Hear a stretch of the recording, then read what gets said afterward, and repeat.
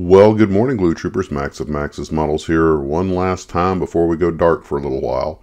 As you guys know, I'm heading off to training, so I have locked up all of the video making gear for right now, and uh, all of the models are at a stage where I can stop work for a while.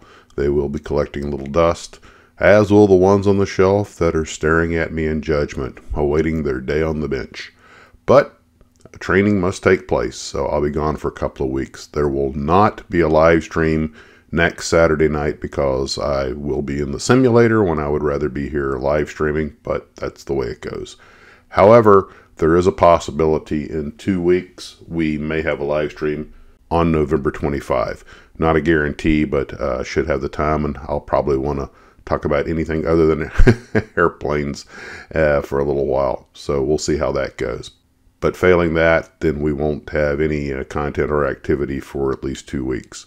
This, of course, is going to put a delay on Viewers Build 46, which I got started on, but just didn't have time to finish.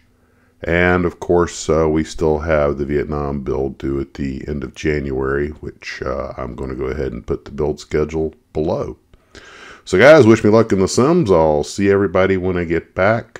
Take care of yourselves. Have a great holiday. And as always, model on.